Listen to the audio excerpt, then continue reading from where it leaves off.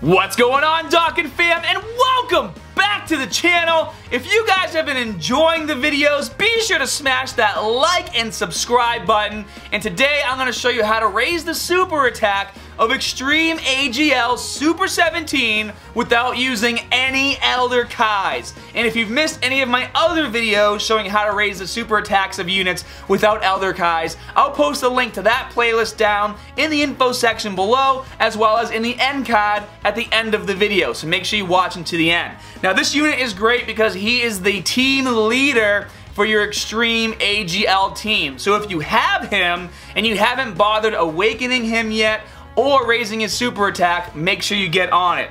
Uh, the first thing we have to do though, before we can boost his super attack, is we're gonna have to reverse him. I've already Dokkan Awakened mine, or TUR'd him, so what I'm gonna have to do is click on him, and then reverse him back to his original form. It's very painful to do this, because I'm always low on these damn reverse chomps. Here we go, these hourglasses. So now he's in his original form. Now we can get to business. So in his original form, there are two units that you can use to boost his super attack without using Elder Kais. So we're going to go to Awaken, click on Type, Acquired, and AGL and Phys. And these are the two units right here, guys. You can either use the physical version, Blackened Heart Android 17, or you can use first step of the plan, Hellfighter 17. As you guys can see, they're both SR units, which means they're pretty easy to get. Um, I usually get a lot of the tech ones. It's just how my how my luck rolls in this game.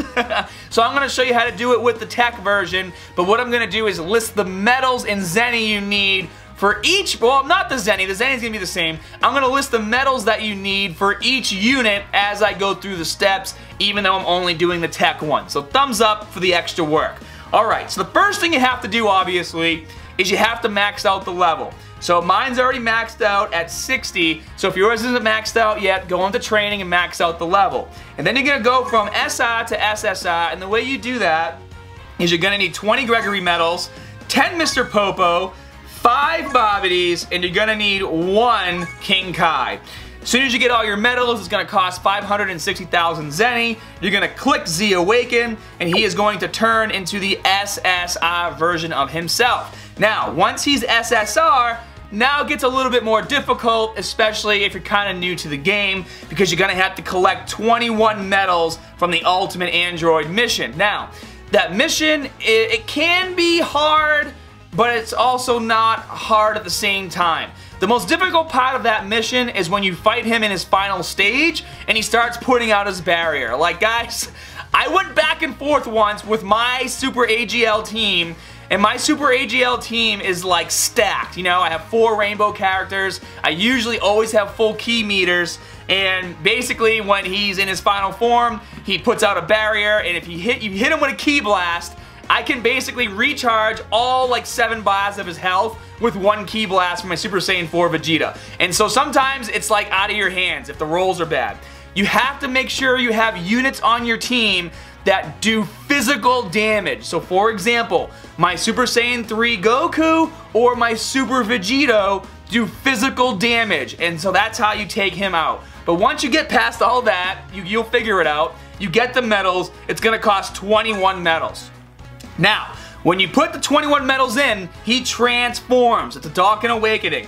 And he's gonna transform into Power Born of Ambition Super 17. Once he's transformed, he will be back to the SSR state, or still be SSR state. And so what you're gonna have to do is awaken him again.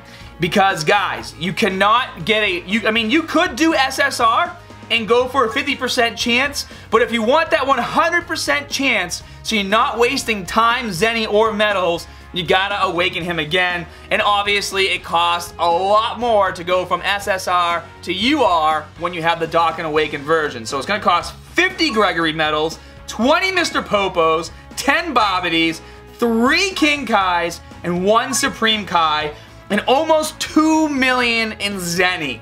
But once you click Z Awaken to get him to the UR form, you can go back to training and then you can select your AGL Super 17. And then as you guys can see, it's gonna give you a 100% chance for both the physical version and the tech version of this unit. So my, I am actually using those two because I collect cards, so I'm not gonna do it on screen. I just wanted to show you guys how to get to this point because uh, I'm actually working on open up all, opening all their hidden paths. But as you can see, um, the SSR version, only 50%, so no good. So if you guys are working on your Super 17, your AGL Super 17, reverse them, go through all these steps, and then you'll be able to max out his super attack in no time at all. If you enjoyed the video, be sure to smash that like and subscribe button. And if you're digging what I'm wearing, make sure you check out justsaiyan.co. I have a promo code for 10% off. It's very easy. It's Herman10. and as I said, the entire playlist is going to show up for you guys for all the other units that I've covered as soon as I'm done talking. I'll see you guys later.